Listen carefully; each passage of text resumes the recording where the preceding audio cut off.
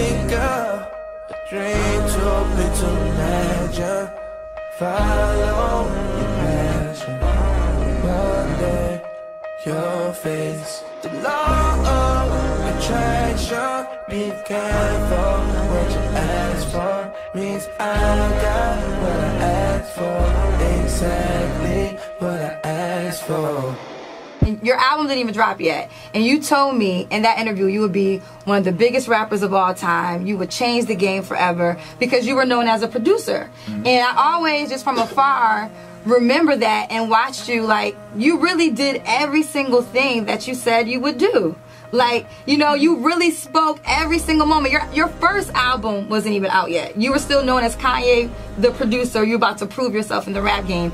And it's just crazy that, you know, you really did become it all. you really did. You just gotta know, you know I mean? You remove, there's certain cultures that don't use words like try, if, want. You know, you just remove those and, you know, they stay in the church sometimes. Like if you, just claim, affirm what you want, the universe is going to bring it around you.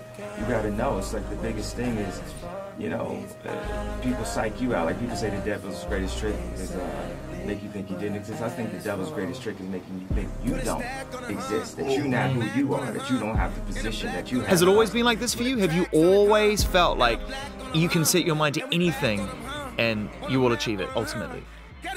I always felt like I could do anything. That's the main thing people are controlled by. Thoughts, their perception of themselves. They're slowed down by their perception of themselves. If you're taught you can't do anything, you won't do anything. I was taught I could do everything. and I'm Kanye West at age 36. My mother made me believe in myself. No matter how many people tell me, stop believing in yourself. Stop saying what you can do. Stop affirming what you're gonna do and then and then completing that in real life. That's the improper way to do it. I refuse to follow those rules that society has set up in the way that they control people with low self-esteem. I am a production of me. You know, I thought, you know, it's not like I was the best rapper in the world or something, you know. It's I sat around and thought about it and then became Kanye West. I like just doing these train of thoughts anyway though. It's like it's kind of fun because when this goes online or whatever it is, it really matters and it like really doesn't matter. What matters is, you know, the people who are sparked by it and the people who are like offended by it. It doesn't fucking matter. Fuck you, you know, like because it's about motivating the doers. And anyone that wants to sit around and talk shit, they're doing too much time, they're taking too much time talking shit about it instead of getting up off their ass and following their dreams. Because I'm here to follow my dreams, you know, and help other people follow their dreams. And go listen to all my music. It's the codes of self esteem, it's the codes of who you are. If you're a Kanye West fan, you're not a fan of me, you're a fan of yourself. You will believe in yourself. I'm just the espresso.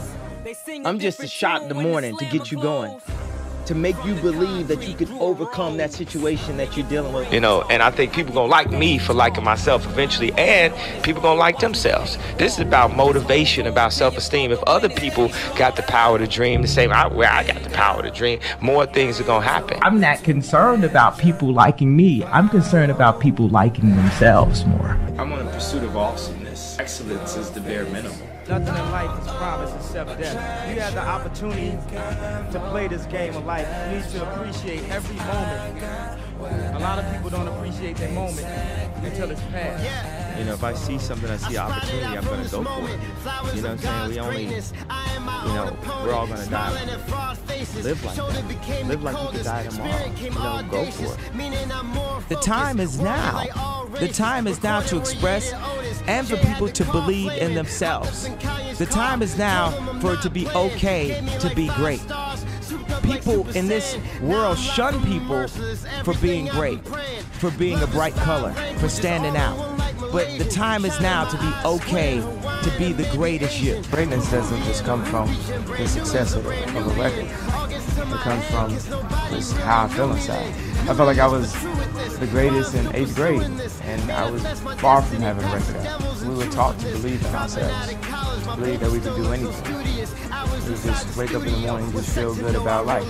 What I'm doing right now, the music I'm dropping, I want it. I want the number one spot. I will have it. You know, I'm. This is what I'm going for, and, and I want to beat the press. I want to beat, you know, anybody that ever like tried to make me out to be just so crazy and so this and so that. Thank you. You just adding to the excitement. You're giving me stuff to write about. I want the number one spot. I'm going for it. I'm about to take it. This is what I'm here to This is. I mean, what, what, what else do you want me to do? That's why I go to the studio so I can murder shit. This is, you know, this is my job. This is my life. No suicide, difference between you and I.